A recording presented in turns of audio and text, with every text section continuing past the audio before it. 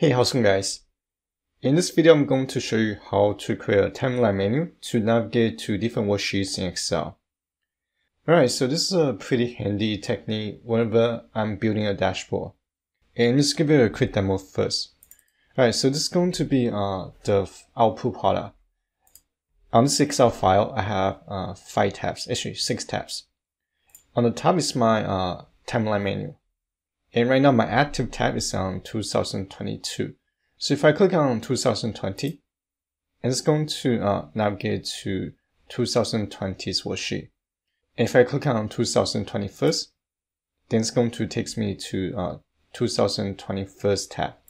So that's basically the whole concept of creating a timeline navigation menu.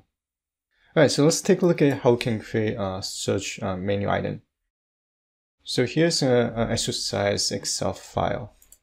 I'm going to start by creating a template first. And on the template tab, I already create uh, this timeline menu. And the way how I create uh, this timeline menu is by using different shapes. If you go to the insert tab, shapes, and from the shapes category, I'm using this uh, rounded rectangle shape. And which is right here, this one here. And basically I just create a, a rounded rectangle.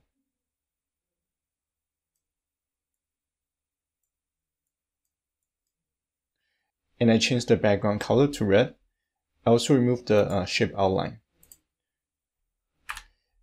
Inside the around the rectangle, I inserted multiple text boxes. And once you create the uh, timeline navigation menu, we're going to click on each individual text box to uh, link each text box to different uh, corresponding worksheet. Alright, so here I'm going to select the first text box, which is going to be uh, text box 10. And this text box is going to reference in uh, the 2022 uh, tab.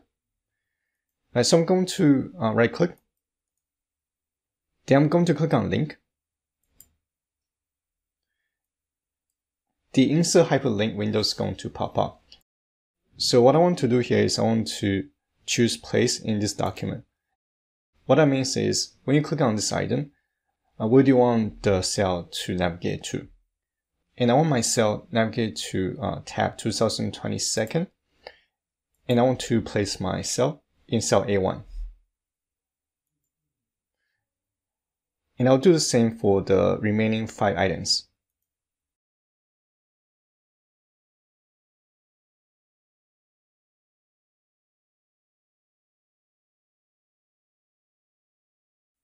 Right, so I finished uh, embedded the hyperlinks to each individual text box. Now I want to group everything together into a single item. I'm going to hold the control key, then I'm going to select each individual text boxes. Then I'll right click. And it looks like all my objects are grouped together. And this grouped object is going to be my template. I'm going to select this uh, group object then I'll do copy to copy uh, the object. Then I'll go into uh, each individual tab to insert the timeline menu. And I want to insert the menu in cell B3.